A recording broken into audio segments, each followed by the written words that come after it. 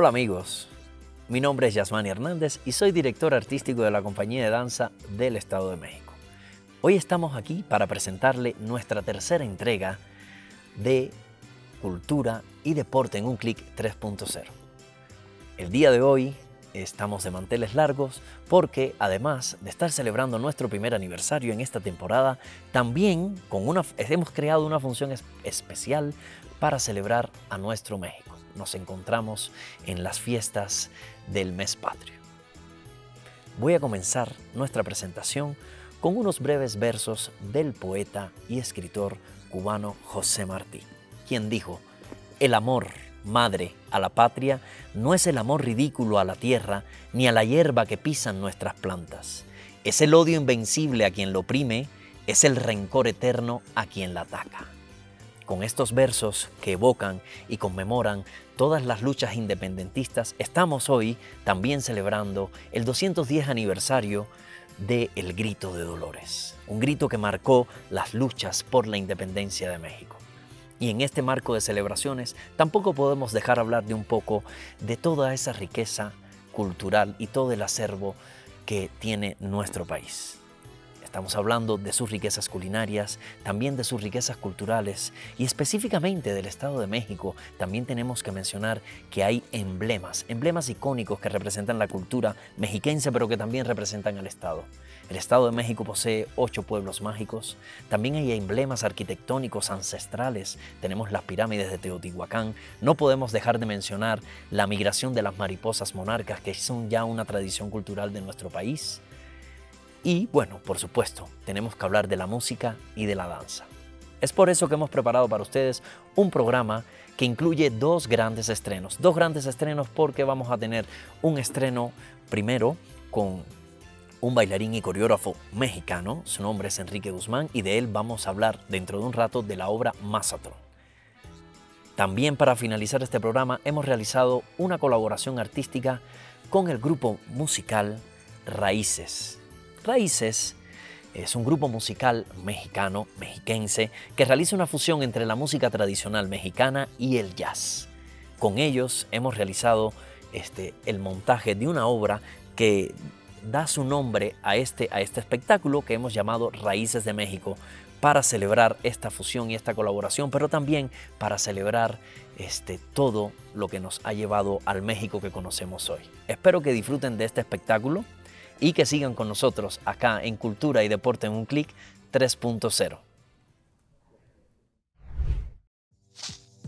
Amigos de Cultura y Deporte en un clic 3.0. Estamos muy emocionados porque el programa que tenemos para usted el día de hoy eh, está plagado de colaboraciones. Y bueno, la que nos atañe en este momento es una obra que es un estreno de la compañía este, que viene firmada por el maestro Enrique Guzmán. El maestro Enrique Guzmán, quien fue bailarín, quien es bailarín y coreógrafo, y bailó nada más y nada menos que en el Ballet Nacional de México, que estuvo dirigido por uno de las grandes, de los grandes íconos de la danza de nuestro país. Estamos hablando nada más y nada menos que de Guillermina Bravo. De Guillermina Bravo.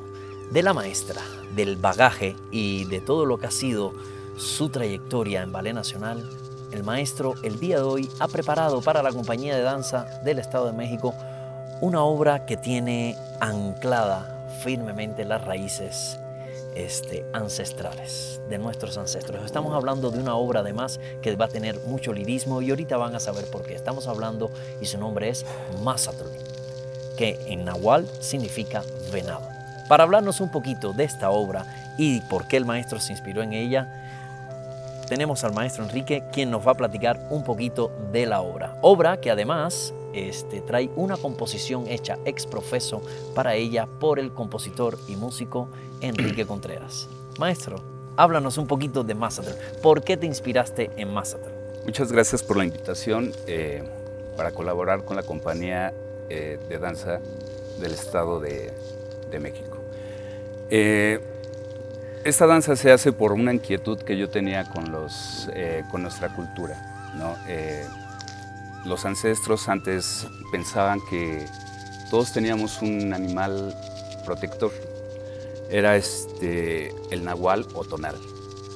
Entonces, basado en esto, eh, se inspiró, ¿no? De, de lo terrenal que es. De lo este, terrenal.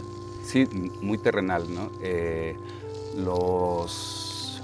Bueno, esta, esta danza es un pequeño tributo para los danzantes. Para los danzantes. Para los danzantes que hacen eso, obviamente no es el venado venado como... No es, el, no es, no es la versión tradicional que conocemos del venado, ¿verdad? No, no, a este venado lo dejamos vivir, es solamente un este Estamos haciendo un homenaje a la vida del venado, a la vida del venado. También me has hablado un poco de que este venado no es simplemente un animal o no representa solo al, al, animal, sino que también estás estableciendo una relación entre esa dualidad que existe entre venado, ángel, guardián y, esa dualidad en que el venado también representa, está representado por un hombre, ¿no? Y este venado es realmente su ángel guardián. Entonces, sé que en la coreografía vamos a poder disfrutar de momentos donde es venado y momentos donde no lo vamos a ver como un venado, sino como una figura, un ser humano. Un ser humano. ¿Es cierto eso? Sí. Ok. Eh, es su tonal. Ok, eh, es su tonal. sí. Me imagino que el tonal o el nahual de los bailarines es el venado que implica lo que es eh, sutileza, belleza, agilidad. Y por eso este, se me ocurrió esto y espero que lo disfruten. Ok, muy bien. Sabemos que colaboraste también con el maestro Contreras para hacer la música. Sí. Este, entonces, pues bueno, eh, todo, toda una cajita de sorpresa. Nuestro querido este, Enrique Guzmán. Maestro, muchísimas gracias de verdad por confiar en la compañía de danza del Estado de México para realizar esta obra. Esperemos que sea también la primera de muchas. Gracias. Este, y aquí junto contigo, este, no nos despedimos. Te invito a que nos quedemos a ver esta pieza. Eh, y bueno, nosotros seguimos acá en Cultura y Deporte en un clic 3.0. Seguimos celebrando a México. Recuerden que esta función este, se le estamos dedicando a, nuestro querido México en el, mes, en el mes patrio. Pero también estamos celebrando la Compañía de Danza del Estado de México en su primer aniversario. Acompáñenos y disfruten más. Nos vemos al rato.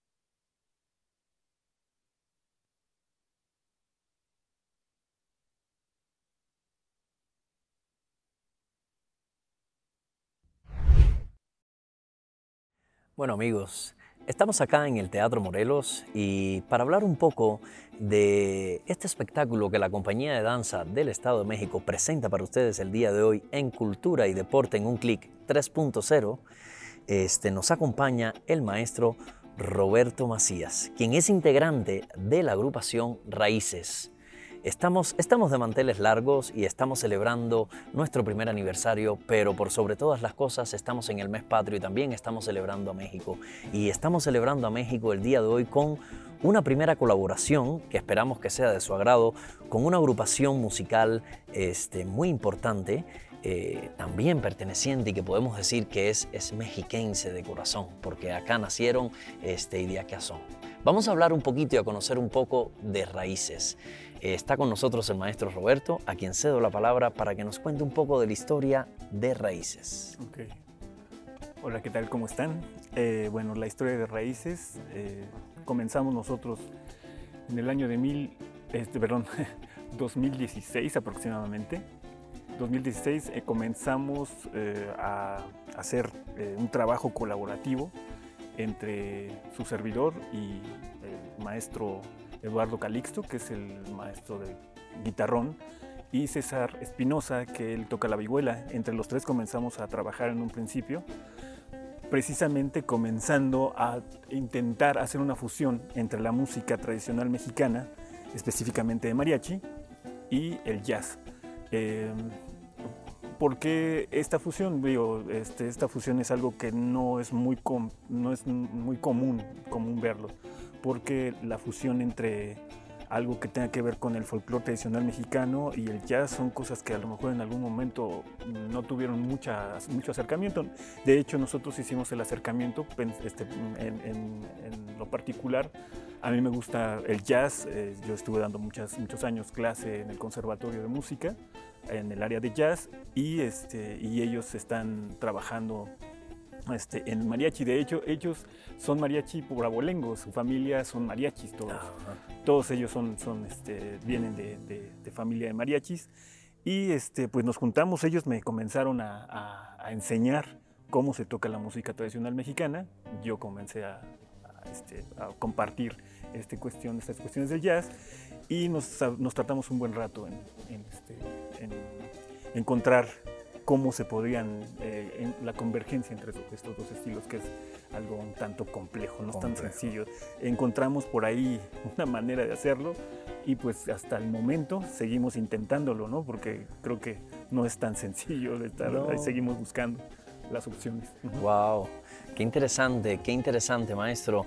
Eh, yo creo que la verdad que esa búsqueda por supuesto que siempre somos como ser humanos al fin, siempre estamos inconformes y queremos más, pero el sello distintivo, ¿no? este sello que, yo siento que tiene raíces hoy, este, ya está muy definido muy definido. Yo siento que, que, podemos ser inconformistas y tratar de buscar la excelencia siempre, pero definitivamente este, Hoy hemos escuchado, hoy vamos a escuchar a Raíces y cuando lo escuchemos seguramente quienes conocen a Raíces sabrán que es Raíz, Raíces y quienes no lo conozcan seguramente van a conocer esta, esta agrupación musical que, que, tiene mucho que dar. Y hablando de fusiones, hablando de fusiones entre el jazz y lo que es el mariachi o digamos esta música popular mexicana ¿no? que, que han hecho ustedes con, con gran excelencia, vamos a hablar también de nuestra primera colaboración entre Raíces y aquí vamos a hacer una fusión y una colaboración entre música mexicana con jazz y movimiento, digámoslo así, con danza.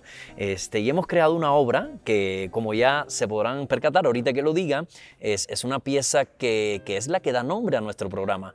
Le hemos llamado a esta obra este, Raíces de México. Raíces de México porque lógicamente estamos haciendo una colaboración con este, el grupo musical Raíces, pero Raíces también porque estamos celebrando a México y de ello deviene este, este nombre. Y bueno, para hacer esta colaboración la maestra Yasmín Barragán, quien es coreógrafa residente de la compañía de danza, eh, tomó y se inspiró en tres piezas, digamos tres, tres, obras musicales del grupo Raíces. Ellas son, y se las voy a mencionar en el orden en el que las van a escuchar, eh, ellas son Ojitos Traidores, tenemos luego Deja que salga la luna, y finalmente cerraremos esta suite, o digamos esta colaboración, eh, esta obra que se llama Raíces de México con Flor de Luna. Eh, volvemos con el maestro Roberto para que nos hable un poquito de las piezas, porque tenemos entendido que cada una de ellas tiene un matiz diferente, este, que ustedes al escucharla y al ver a los bailarines talentosos y jóvenes bailarines de la compañía de danza eh, interpretándolas con el movimiento y la calidad artística y técnica, se van a dar cuenta de estos matices. Cuéntenos, maestro, un poquito de cada una de las obras para que nuestro público pueda conocerlas. Creo que sí. Este, bueno, para comenzar, eh, pues todo un honor ser este, partícipes de esta fusión entre la compañía de danza y sus servidores que de raíces. Todo un honor este, realmente estar compartiendo escenario. Y eh, les comento acerca de las obras que se van a tocar. La primera obra que se toca es Ojitos Traidores. Esta pieza es realmente una pieza que viene de la madre patria, que viene de España. Y em, esta pieza se, hace una, especie de, arreglo, o arreglo en, más o menos por ahí de los 60. El arreglo lo hacen para una de las voces y de los cantantes de música vernácula mexicana más importantes, que es Javier Solís. Entonces, esta, este arreglo lo hacen para él y nosotros adaptamos esta pieza de Ojitos, Traidores para precisamente para tocarla en este formato, en esta cuestión de raíces. Bueno, esta es la primera pieza. La segunda pieza que abordamos, que vamos a, tocar, es la pieza de Deja que salga la luna. Deja que salga la, luna es un ícono de la música folclórica mexicana, cantada por varios intérpretes de la música, entre ellos Pedro Infante, este, incluso Jorge Negrete, varios de los, de los grandes de la música tradicional mexicana folclórica. Y esta pieza nosotros la adaptamos también a raíces. Esta pieza tiene un origen por allá de la Huasteca Potosina. Eh, es un guapango lento, eh, y la pieza es eh, hermosa, ¿no? tiene una, una, calidad musical impresionante, es muy, muy, muy romántica. Y la, la tercera pieza que tocamos es Moonflower. Eh, como, como este, le comento a Jasmani, eh, Moonflower es una pieza que es mucho más nueva. Esta pieza no tiene mucho que ver con la cultura mexicana ah, directamente, eh, pero esta pieza realmente ah, subliminalmente tiene algo que, que ver con la, con la, cultura mexicana porque es nada menos y nada más que Carlos Santana, uno de los, este, de los representantes a nivel internacional eh, mexicanos. más importantes. Entonces, eh, eh, esta pieza la tomamos nosotros como más o menos muy parecida a la versión original de Carlos Santana, pero hicimos una base rítmica y la base rítmica se hizo con la vihuela y el guitarrón, que son los instrumentos que son la base del mariachi, ¿no? de, de, la música de mariachi. Entonces, eh, es, mm, es, lo, que van a, lo que van a escuchar y lo que vamos a hacer con la, con la compañía de danza. Bueno, sin más preámbulo, eh, los dejamos para que puedan disfrutar de Raíces de México una, primera colaboración este, que con gran emoción y con, con, mucha admiración hacemos por primera vez con Raíces de México, con aires flamencos, guapangos y también un poquito, ¿por qué no?, de esa guitarra que tanto le ha dado al mundo Carlos Santana. Los dejamos, esperamos que disfruten de Raíces de México, fusión de música y movimiento, Raíces y la compañía de danza del Estado de México. Nos vemos al regreso.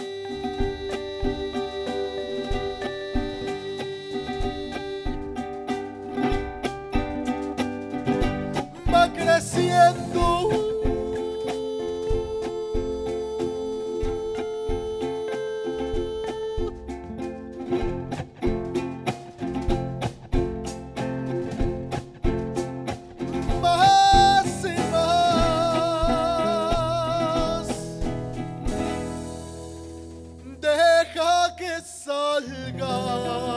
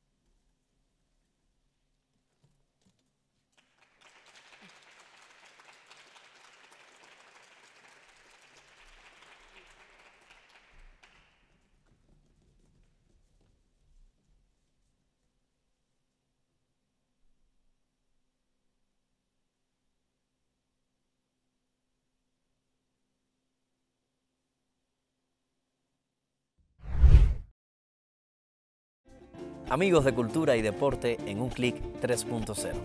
Bueno, estamos acá para despedirnos, pero no sin antes recordarles que pueden seguir a la compañía de danza en nuestras redes sociales, que son danza.edomex en Facebook y Twitter y danzaedomex en Instagram. Sigan también a la página, a las páginas y cuentas oficiales de la Secretaría de Cultura y Deporte del Gobierno del Estado de México, que son Cultura Edomex. Así los pueden encontrar en Facebook, Twitter y en Instagram también. Nosotros estamos felices porque seguimos celebrando este, en este mes nuestro primer aniversario y también estamos felices de las grandes colaboraciones que hemos podido realizar para ustedes junto con grandes músicos y también este, destacados bailarines y coreógrafos. Esperamos que les haya gustado esta función y muy pronto, muy pronto nos estamos viendo acá en Cultura y Deporte en un clic 3.0. Los, los esperamos.